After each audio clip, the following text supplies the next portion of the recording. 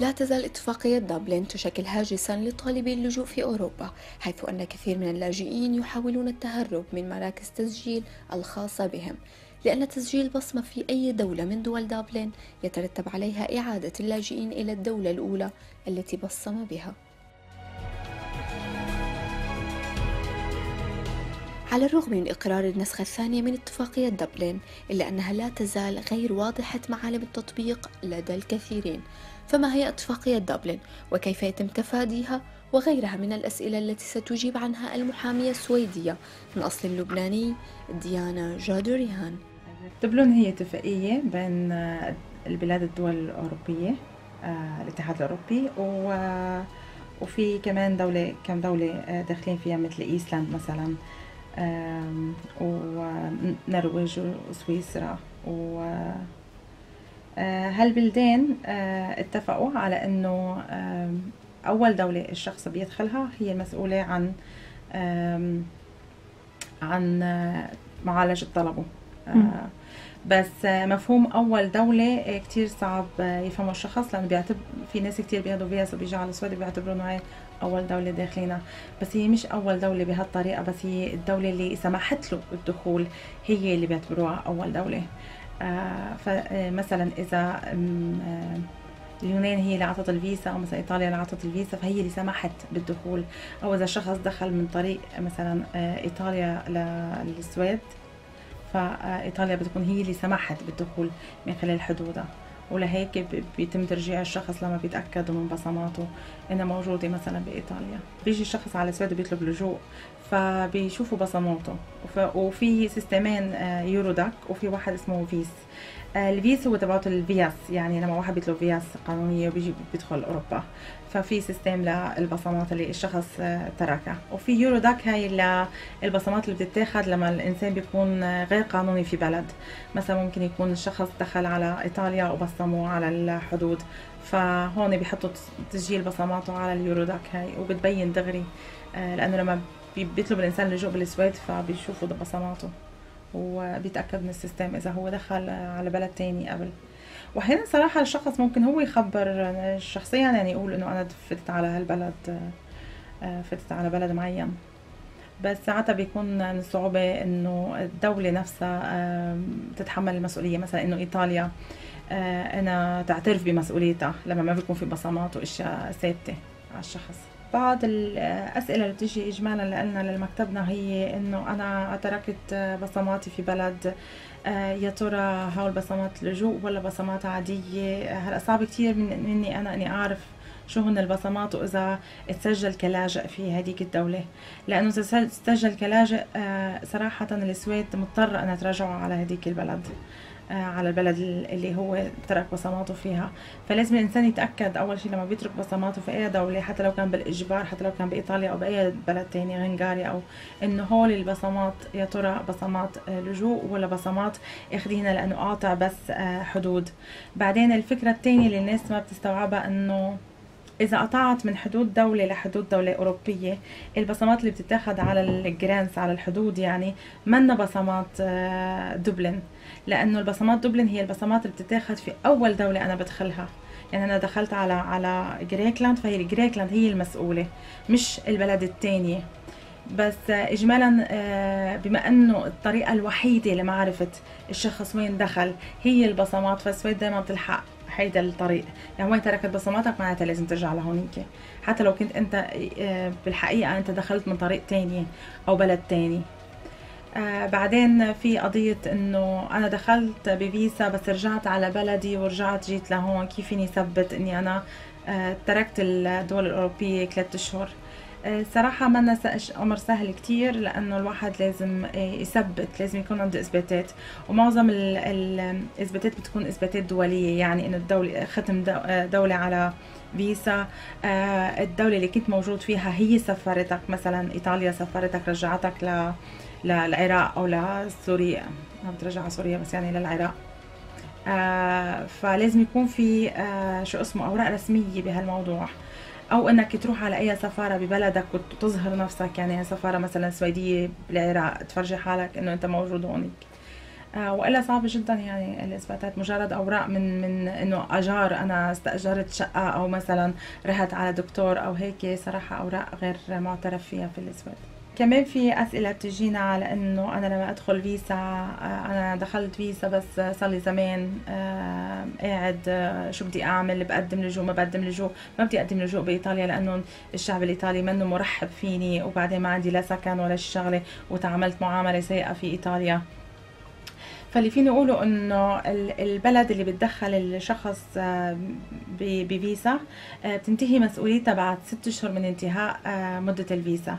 وأنا عم بحكي عن الفيزا اللي ال maximum فيها ثلاث أشهر السكن مش أكثر من هيك الإقامة. لأنه إذا أكثر من من ثلاث أشهر صارت إقامة وما عادت فيزا عادية. وصار بده الواحد بعد انتهاء الإقامة تبعيته بسنتين ينطر ليقدر يقدم لجوء بأي بلد.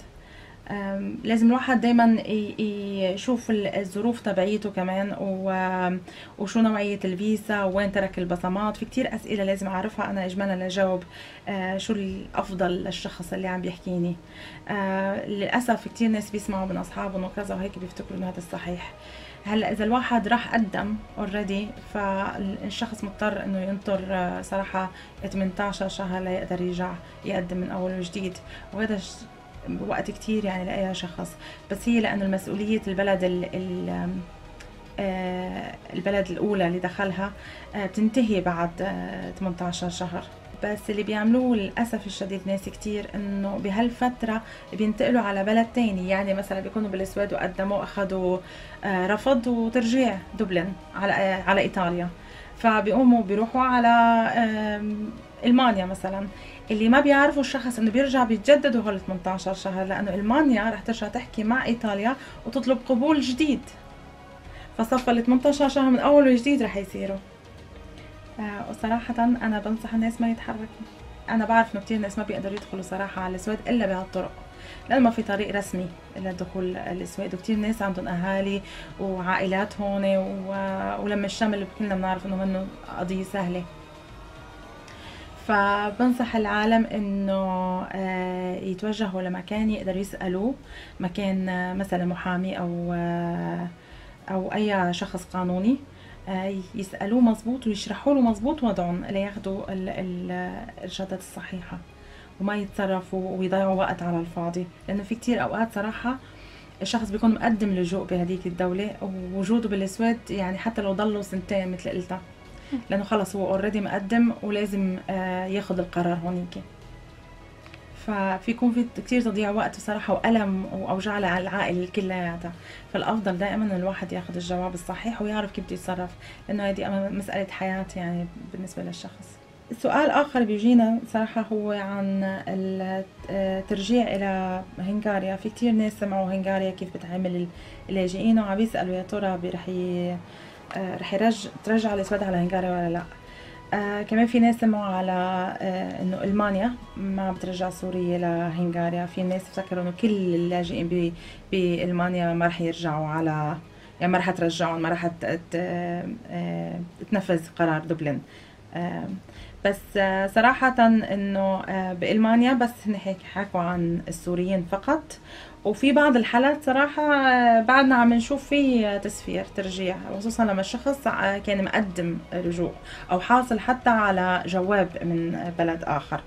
آه، بالسويد لحد هلأ مش مش مبينة الشغلة آه، مش واضحة لا كتير يعني كتير بس آه، ممكن كتير. السويد ترجع ما في قرار رسمي بعدم الترجيع لهنغاريا أو لأي بلد تاني.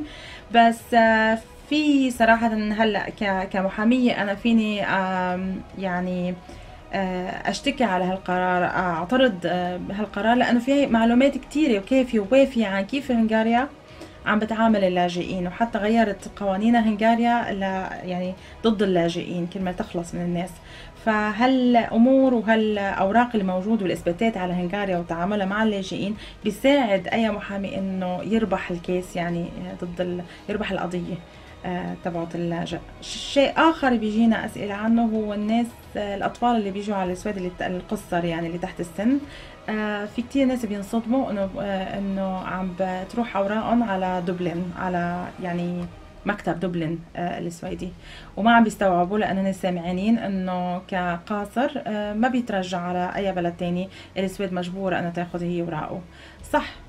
آه، بس مش كاملة يعني مش الفكرة مش كلها صح. يعني إذا هالطفل كان مقدم لجوء وأخذ جواب بهالبلد بإيطاليا أو ب دولة تانية. فالسويد بتقدر ترجعه حتى لو كان قاصر لأنه بيتعامل كأي شخص تاني كأي راشد لأنه أنت already عندك جواب عندك آه، إقامة أو عندك رفض. فالسويد منها مضطرة ترجع مرة تانية تعالج آه، قضية اللجوء تبعيتك. بينما آه، هني معظم الأوقات عم ينبشوا على إذا الشخص هذا عنده عائلة عنده ناس ممكن يحتضنوه في أي بلد تاني.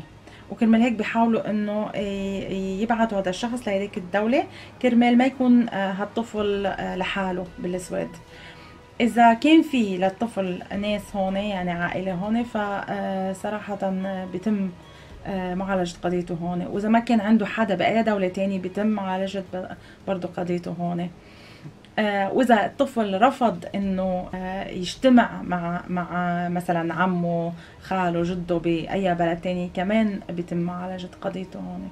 المحكمة الأوروبية كانت واضحة جدا آه، بقرارها بأنه الطفل ما المفروض ينبعث من بلد لبلد. كرمال يتعالج قضيته لازم يضلوا بال يعني لازم البلد اللي هو موجود فيه وطلب لجوءه فيه هي هو اللي يعالج قضية اللجوء تبعيته.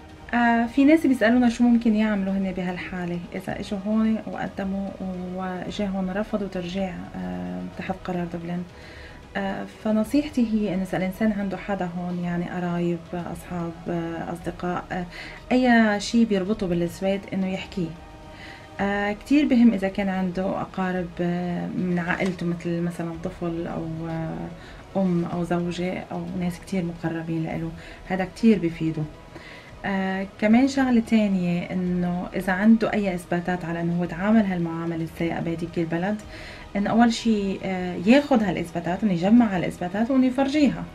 آه لأنه شيء كتير آه, آه، منيح إنك إذا عندك قصة تقولها يعني عندك إثباتات عليها كرمال آه يصدقوا. لأنه دائما السويد بتعتقد إنه كل الدول الأوروبية آه بتعامل نفس بنفس الطريقة بطريقة يعني إنسانية. آه في شيء تاني هو إنه إذا الواحد عنده مرض إنه يفرجي هالمرض إنه يحكي عنه وإنه يجيب أوراق من الطبيب على إنه هذا مرض وممكن ينأذي إذا هو الشخص آه، تسفر بهالطريقة. آه وإنه آه، حالته رح رح تسوء. آه كمان إنه ممكن نثبت إنه هل ترجيع لهديك للدولة الأولى ممكن حتى يكون من ناحية إنسانية غير لائقة في السويد أنها ترحل الشخص على هديك الدولة. وحسب أكيد كل واحد وظروفه آه بس كتير آه يعني بتمنى من الناس إنه لما بيحصلوا على هيك قرار إنه يراجعوا كل الظروف اللي عندهم ويحكوها للمحامي كرمال يقدر يساعدهم. بأفضل طريقة.